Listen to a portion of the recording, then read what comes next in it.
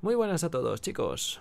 Aquí tenemos el último vídeo de este curso en el que, eh, bueno, pues tengo ganas de poneros un 10 a todos, de verdad. Pero para eso os lo vais a tener que currar, repasar varias veces este vídeo y prestar mucha atención. ¿Estáis listos? Venga, empecemos. Vamos allá. Eh, ¿Qué temas vamos a tocar en este trimestre? Pues las familias de instrumentos. En concreto, la familia de la percusión. Vamos a hacer referencia a la batería y a otros instrumentos. Eh, tocaremos el tema de la radio, el tema de las letras de la música, videoclips, etc. Y los estilos de música. Y también hablaremos de varios cantantes o varios grupos, entre ellos los Beatles. Finalmente hablaremos sobre el Festival de Eurovisión. ¿De acuerdo? Vamos allá.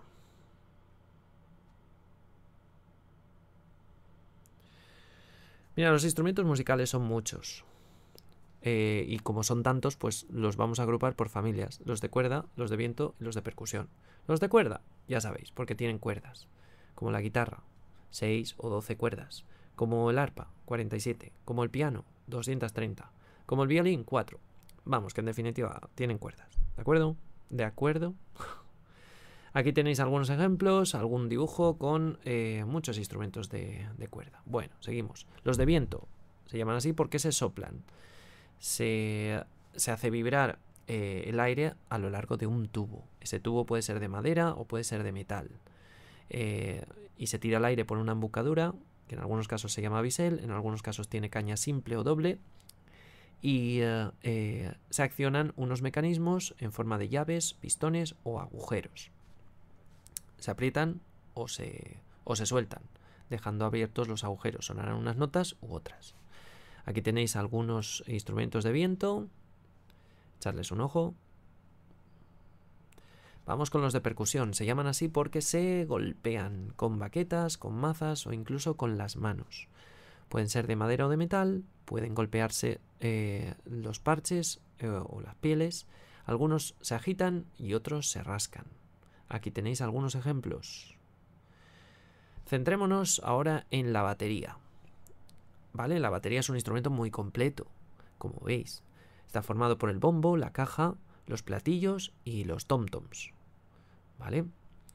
Vamos a hablar de cada uno de ellos. El bombo se acciona con este pedal que tiene una maza y cuando pisas la maza hace pum, pum sobre el parche del bombo. ¿De acuerdo? Después tenemos la caja, que se toca con las baquetas. Normalmente se toca en el centro, eh, pero también se puede tocar en los lados, de, en, el aro, en el propio aro. También muchos percusionistas ahí tocan. Después tenemos los eh, platillos. Tenemos uno a la derecha que se toca con la mano derecha, que es el ride. Otro a la izquierda, que es el crash, que también se toca con la mano derecha o con la izquierda o con la que... Pero normalmente con la derecha, ¿no? Y este platillo se utiliza para romper la marcha normal de... Eh, del ritmo. Después tenemos los, eh, los tom-toms, ¿vale? Que son estos tamborcitos que están situados encima del bombo y también alguno que está situado en el suelo. Este le llamamos tom floor, ¿vale? Con ellos hacen rellenos o breaks que lo que hacen es un poco darle un poco de vida al ritmo que estás haciendo, para que no sea todo el rato igual, rompes la marcha, creas rellenos, ¿vale? Muy bien, eh, acabamos con los platillos del hi-hat o charles, que son estos dos platillos que se entrechocan al pisar eh, con el pie izquierdo el pedal. También se puede golpear encima con las baquetas. Estos platillos lo que hacen es abrirse y cerrarse. Bien, ya hemos dicho que los, la batería se toca con las baquetas, que pueden ser más largas o más cortas en función ya del gusto de, del intérprete. Pero normalmente son de madera, ¿de acuerdo? Algunas pesan más, otras menos, otras tienen la bolita de la parte de arriba más gorda o más fina. Bien, pero tranquilos. Y tranquilizar a vuestros padres que si queréis aprender a tocar la batería no os tenéis que comprar una batería, os tenéis que comprar una caja sorda.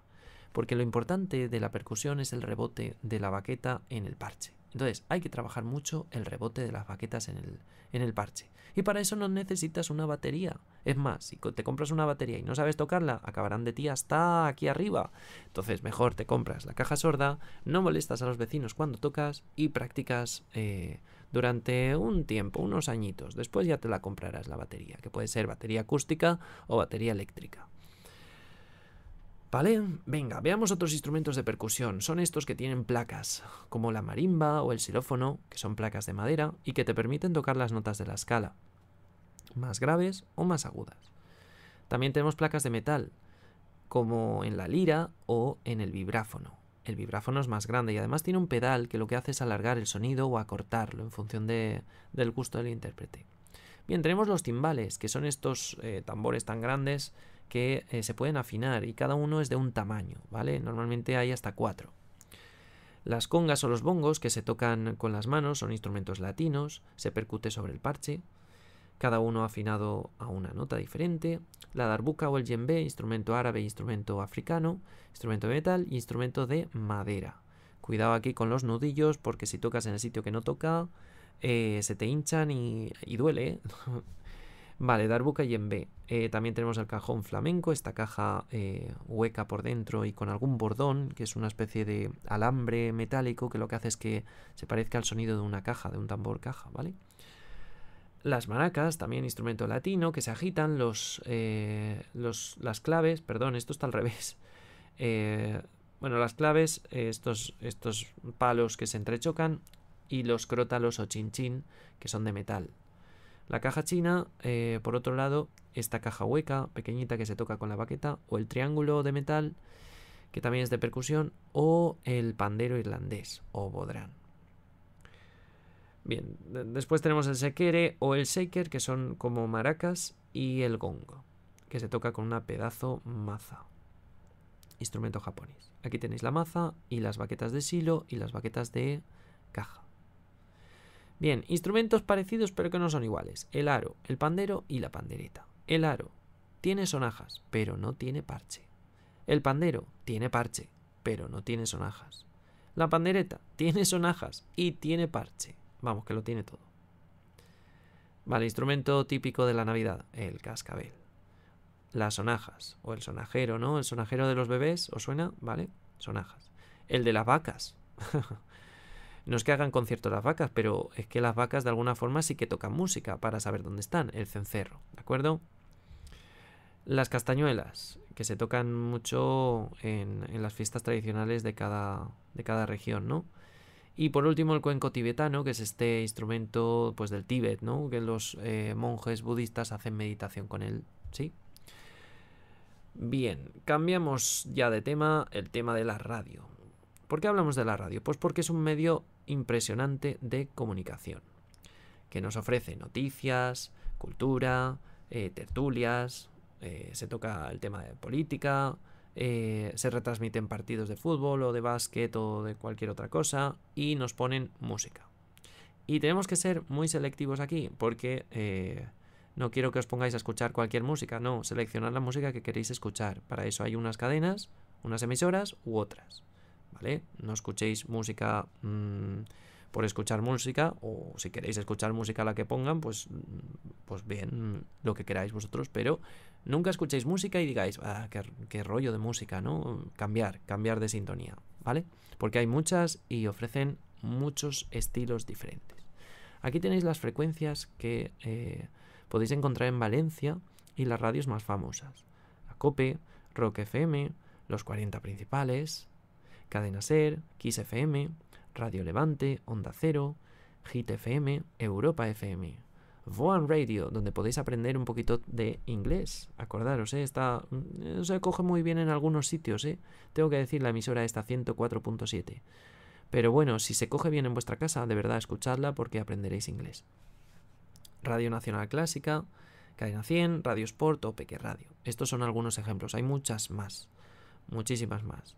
En cada radio pues ponen un tipo de cosas y eh, bueno, acostumbraros a escuchar pues no sé, los 40, Europa, Cadena 100 son las más habituales, ¿de acuerdo? Porque ponen un poco de todo. Bien, estilos musicales. No en todas las radios ponen el mismo estilo de música. Tenemos desde el rock, el reggae, la música clásica, el reggaetón machacón, el trap, el rap, el pop, que es la que más escuchamos, el heavy metal, el jazz, beatboxing, disco, house country, dance o electrónica. Muchos estilos de música y tenéis que seleccionar el que más os guste. Vamos a ver, eh, dos palabritas que tenéis que saber, singles y videoclip. los singles son las canciones más importantes de cualquier grupo y son las que ponen por la...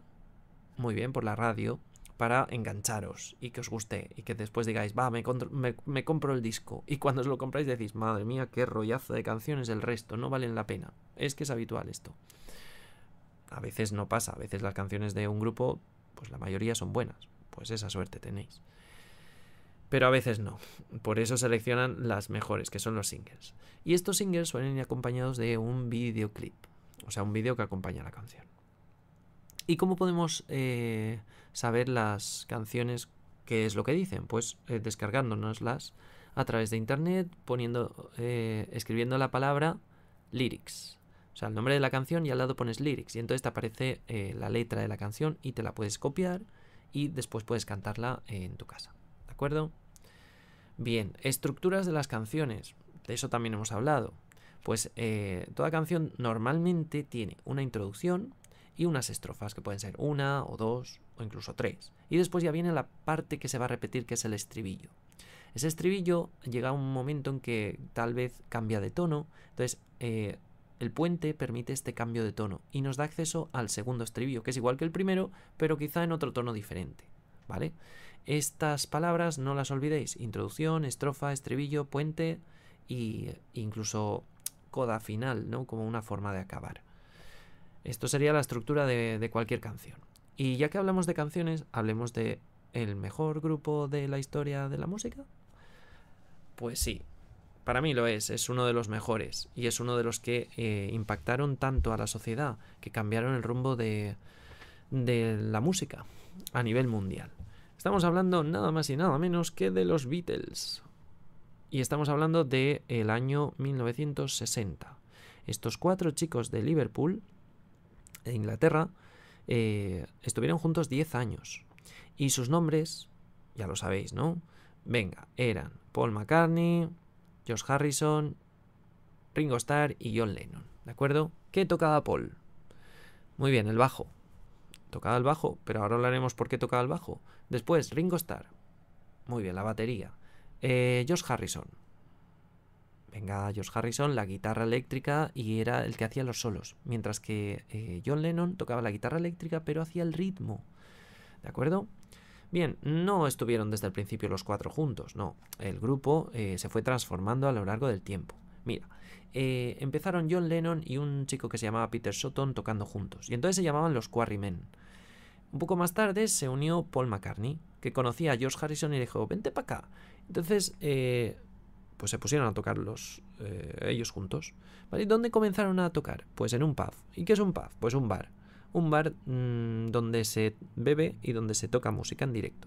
¿De acuerdo? Y donde se pasa un rato, pues en teoría agradable.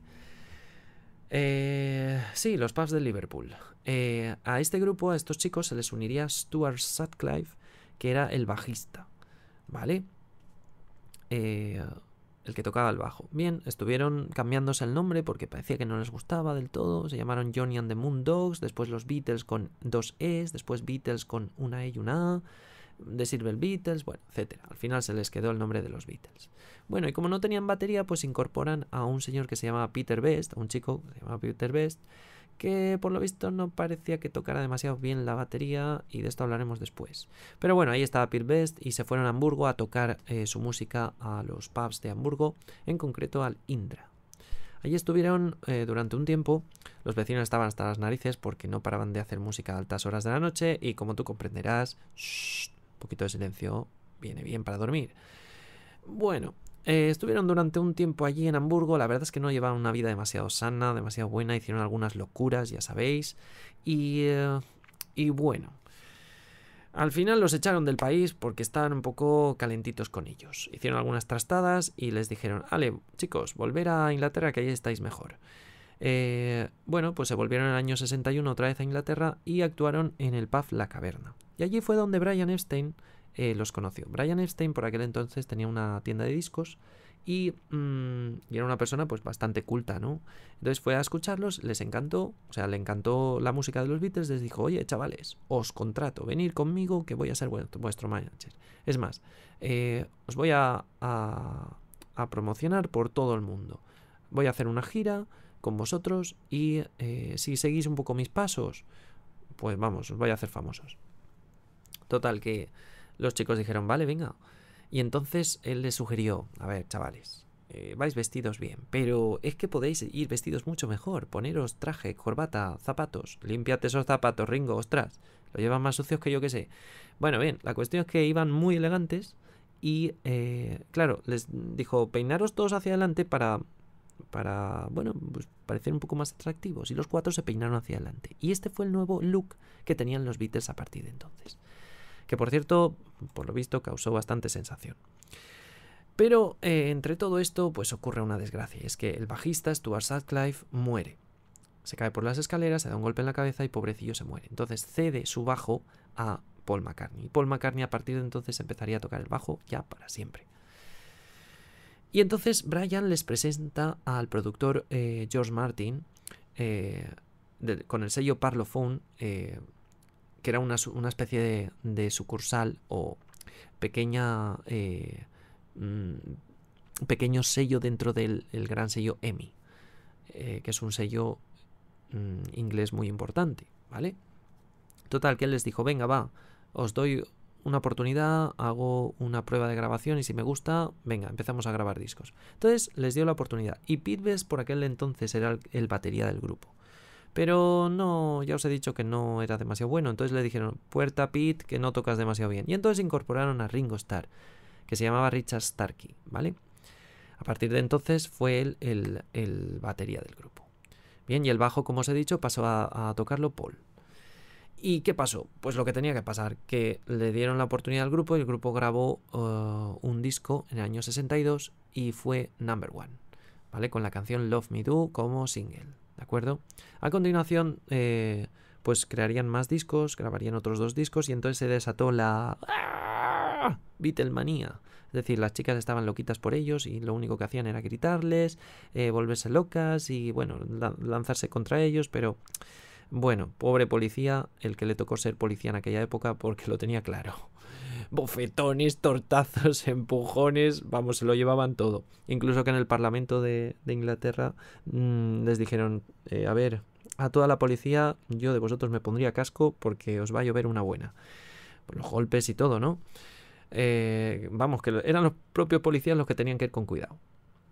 Bueno, el caso es que eh, el manager les dijo, vamos a cruzar el charco y aterrizaron en América en el año 64 y empezaron su gira por todos los países de América. Y América estaba encantada con ellos. y tanto es así que ellos decidieron grabar unas películas para mostrar a la gente su vida un poco más privada, su vida personal que por cierto no fue demasiado sana, como sabéis, y Brian tuvo que tapar mucha porquería de los Beatles porque habían cosas que no se, no se podían saber, si no hubiera eso, esa información hubiera acabado con su carrera. Bueno, mm, nadie es perfecto, ¿no? Ellos también se equivocaron y harían sus, sus travesuras y que les pasarían factura. Pero bueno, tenían ahí el escudito de Brian que hacía lo que fuera a base de talonario, ya sabéis, y eh, vamos, que cerró muchas bocas es lo que tiene la fama, que todo no puede ser. Y ser tan famoso les impedía ser libres.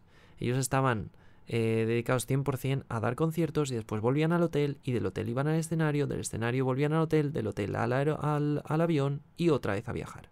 Y no podían pasear por ninguna ciudad ni podían hacer lo que les diera la gana. Simplemente porque eh, la fama Mm, era lo que tenían. La gente se les tiraba encima, entonces pues tenían que estar en algún sitio concreto y vigilado para que no entrara nadie y ya está. Entonces, qué rollo, ¿no? Esto de la fama. Seguimos. Bueno, siguieron grabando discos, eh, dos o tres al año. Se hicieron muy famosos, la gente los adoraba. Viajaron por todo el mundo, Dinamarca, Hong Kong, Australia, Nueva Zelanda, eh, España. Sí, estuvieron aquí en Madrid y en Barcelona, hicieron dos conciertos. Y entre toda esa ese viajar y frenético y no parar, bueno, pues a algunos se le escapó algo por la boca que eh, hizo que algunas personas dijeran, oye, quietos paraos, que no es oro todo lo que reluce, que los Beatles, cuidadico con lo que dicen, porque claro, John Lennon se le ocurrió decir que eran más famosos que incluso la religión, que incluso, que incluso Jesús, Jesucristo. Entonces, bueno, se armó un revuelo tremendo. Y Brian le recomendó, chaval, da una entrevista y rectifica porque si no la gente se va a enfadar mucho contigo. De hecho, quemaron discos, los amenazaron de muerte, bueno, una historia. Al final pidió perdón, se disculpó y todo volvió un poco de momento a su estado normal. ¿Qué ocurre en el año 65? Pues que deciden dar un concierto al aire libre. Y claro, entonces no había gente que preparara conciertos, ni que pusiera pantallas, ni tenían ni idea del sistema de sonido, cómo ponerlo para que se oyera bien. En un estadio tan grande, 55.000 personas, ellos llegaron en helicóptero. Desde arriba ya eh, oían hasta, hasta el griterío. Aterrizaron en el centro de, de ese estadio de béisbol, la gente se les avanzó, pobres policías que tuvieron que coger a la gente, a las chicas, alguna se desmayó, bueno, bueno, todos gritando allí, no se oía nada, los altavoces eran un desastre, y ese concierto precisamente puso a la luz el tema de mm, la infraestructura, es decir, qué desastre de amplificación, qué desastre de escenario. No había nadie se preocupaba por esas cosas. Pues a partir de entonces sí la gente se empezó a... se creó un nuevo trabajo, el trabajo de... Eh, bueno, que no me sale. a construir escenarios, a poner las pantallas, a poner el sistema de audio, Vamos, a controlar todas estas cosas, ¿de acuerdo? A partir de entonces se crea ese tipo de trabajo específico. ¿Para qué? Pues para lucir a los artistas, porque aquello fue un verdadero desastre. Bueno, fue la única vez que actuaron así al aire libre eh, y después ya la cosa se acabó y acabaron eh, el final de su carrera cantando en el tejado de su, de su edificio y poco más. Vale, incluso hay una anécdota que cuenta que eh, creo que John fue el que tocó el teclado con el codo, y pero como no se oía nada, pues nadie se enteró y nadie le dijo, oye, ¿qué estás haciendo? Que estás tocando otra música. Y cada uno iba a su bola, todos gritando, ellos tocaron y después se marcharon. Bien, pasaron los años y el ambiente entre ellos se iba un poco calentando. Habían ya algunas movidas, habían algunas historias entre ellos que no eran demasiado buenas y dijeron, va, vamos a viajar a la India, a ver si nos relajamos un poco, hacemos meditación y todo se vuelve a su cauce. Bueno, pues volvió o no volvió, la cuestión es que Harrison, eh, que quiso, quiso aprender a tocar allí el sitar, este instrumento indio muy bonito, aprendió a tocarlo y mientras los demás estaban tomándose algunas cosas que, bueno, pues ya sabéis. Ay, hicieron algunas cosas mal, pobrecillos. Bueno, el caso es que eh, la tensión eh, se palpaba en el ambiente y ya solo faltaba en el año 1967 que Brian Epstein eh, muriera. Murió el manager y entonces los Beatles estaban perdidos, estaban desolados y entonces ya fue la gota que colmó el vaso. Se vinieron abajo y el grupo empezó a querer mm, separarse. Sí, grabaron algunos discos más y, la separación se produciría en el año 1970 y ya cada uno actuó en solitario. ¿De acuerdo? Hasta el momento grabaron 12 discos, 12 maravillas de la música, ¿vale? Que marcaron un antes y un después. ¿De acuerdo? Y esto es lo que, con lo que nos tenemos que quedar. Marcaron un antes y un después.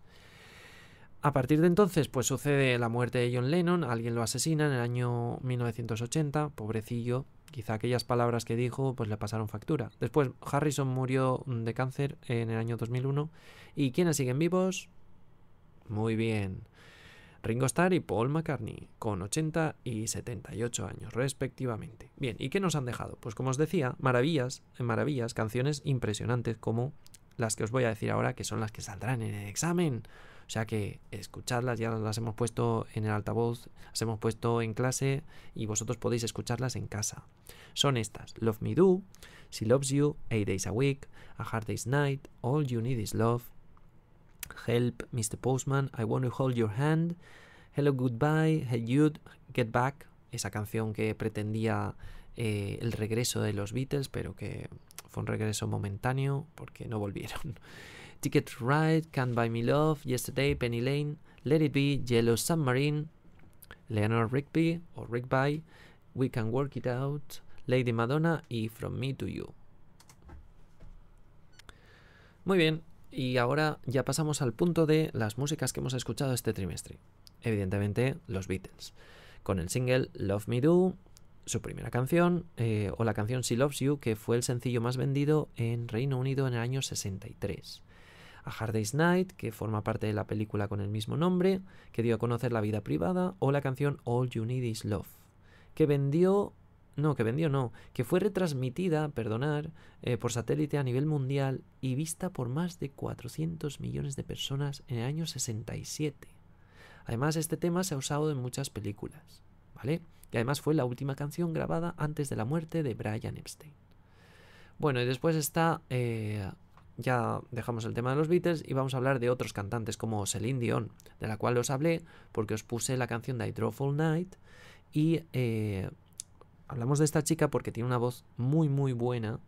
Es una chica canadiense, eh, ahora tiene 53 años, participó en Eurovisión, ganó en Eurovisión, de hecho, por Suiza, en el año 88. Y eh, cantó también la película de, eh, en la película de Titanic. ¿Recordáis ese barco que parecía que no se iba a hundir jamás y tropezó contra un iceberg y se hundió? De camino a Nueva York. Bien, se salvaron algunas personas, pero muchas, muchas murieron. Una tragedia, vaya. Bueno, pues esta, esta película, Titanic, cuenta esa historia. Y Celine Dion pone la banda sonora con la peli, perdón, con la canción My Heart Will Go On. Vale, después hablamos de Camilo.